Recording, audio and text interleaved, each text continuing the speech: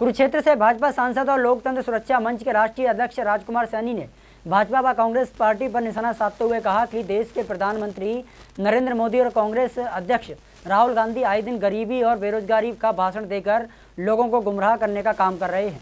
Congress party ने वर्षों तक देश पर राज किया, लेकिन अभी तक गरीबी और बेरोजगारी दूर नहीं हुई है। भाजपा सरकार को भी केंद्र में बने कई साल बीत चुके हैं, लेकिन गरीबों का भला नहीं हो सका है। उन्होंने कहा कि देश का लोकतंत्र खतरे में है राज्यसभा में चोर दरवाजे से लोगों की एंट्री की जाती है। ऐसे लोगों का गरीब जनता से कोई लेना देना नहीं है। गरीबों के हित में अगर कोई बिल पास किया जाता है तो उसे राज्यसभा में पारित नहीं होने दिया जाता। Rajkumar Saini Palwal national highway number दो पर स्थित विश्राम गृह में पत्रकार वार्ता को संबोधित कर रहे थे। भाजपा सांसद राजकुमार सैनी ने कहा कि देश की आबादी लगातार बढ़ रही है। अगर देश की जनसंख्या तेज गति से बढ़ती रही तो देश का विभाजन निश्चित है। देश में गदर जैसे हालात बन जाएँगे। उन्होंने कहा कि यदि देश को मज़बूत बनाना है तो हमें देश के अंदर हम दो, हमारे दो का, एक स्ट्रॉन्ग बिल लाना चाहिए। आबादी को कंट्रोल करने के लिए चीन ने हम दो, हमारे एक बिल पारित किया है। उसी तर्ज पर भारत में भी हम दो, हमारे दो का बिल पारित होना चाहिए। सभी राजनीतिक दलों को इस पर सहमति देनी चाहिए। बिल पारित होने के बाद अगर इसका कोई पालन नहीं करता है तो उसे सरकारी सुविधाओं को लाभ नहीं देना चाहिए।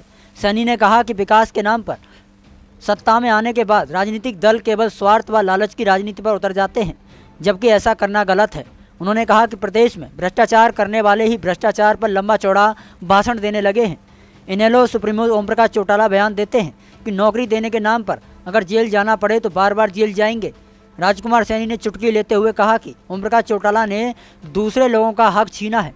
अगर वो दूसरे लोगों का हक छीन कर किसी दूसरे व्यक्ति को देंगे तो उन्हें एक बार नहीं बार बार जेल जाना ही पड़ेगा। उन्होंने कहा कि आय से अधिक संपत्ति के मामले में अभय सिंह चौटाला का केस कोर्ट में विचाराधीन है। कोर्ट का फैसला आने के बाद उन्हें भी जेल जाना पड़ सकता है। सैनी ने कहा कि सुप्रीम कोर्ट में भ्रष्टाचार के मामलों की लंबी बहस चलती है, लेकिन जब निर्णय आता है तो बड़े बड़े नेता भी जेल की सलाखों के पीछे दिखाई देते हैं। लालू यादव भी भ्रष्टाचार के मामले में जेल की सलाखों के पीछे सजा काट रहे हैं। उन्होंने कहा कि भाजपा सरकार में भ्रष्टाचार व्याप्त है। कर्मचारी चयन आयोग के चेयरमैन पर कई बार भ्रष्टाचार के आरोप लग चुके हैं। कर्मचारी चयन आयोग की परीक्षा में प्रश्नों के माध्यम से ब्राह्मण समाज के खिलाफ टिप्पणी की गई है। उन्होंने घटना की निंदा करते हुए कर्मचारी चयन आयोग के चेयरमैन को तुरंत प्रभाव से निष्कासित कर देना चाहिए और दोषियों के खिलाफ कानूनी कार्रवाई की जाए। राजकुमार सैनी ने कहा कि सरकारी तंत्र बेकार हो चुका है। सरकारी दफ्तरों में बैठे संगठित लोग आए दिन सड़कों पर विरोध प्रदर्शन करते हैं, जबकि प्राइवेट सेक्टर में दस हज़ार रुपये प्रति महीने कमाने वाला व्यक्ति कड़ी मेहनत कर अपने परिवार का पालन पोषण करता है। यही कारण है कि प्राइवेट सेक्टर आए दिन आसमान छू रहा है। उन्होंने सार्वजनिक स्थानों पर नमाज़ अदा करने, धार्मिक आयोजन करने को गलत बताते हुए कहा कि सभी लोग एक दूसरे के भावनाओं का ख्याल रखना चाहिए।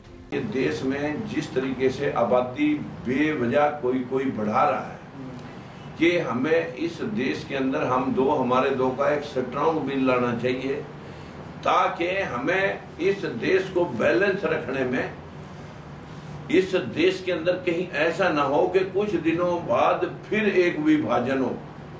और फिर लोगों के बीच में गदर के अंदर कुछ लोग फिर मरे और देश के टुकड़े हों।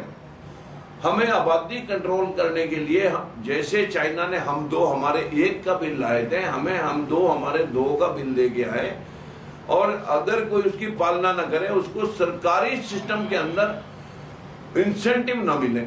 और सरकारी फैसिलिटी उसकी रोक दी जाए कि बच्चे पैदा करें अपने सिर पे। और नहीं तो जो है ना सरकारी फैसिलिटीज़ आपको नहीं देंगे। अपने आप ठीक हो जाए सिस्टम दूसरे नंबर पर आज हमारे देश की व्यवस्था को संभालने के लिए जितने भी एमपी एमएलए बनते हैं एक लास्ट में सोच बन जाती है बड़ी मुश्किल से टिकट मिला बड़ी मुश्किल से जीत मिली अभी पिछले पैसे पूरे नहीं हुए। आगे सामने इलेक्शन दिख रहा। भाड़ में जाए देश और दुनिया और समाज। अपनी राजनीति मेरे एरिया में कोई और पैदा भी होना चाहिए और मैं हटना नहीं चाहिए।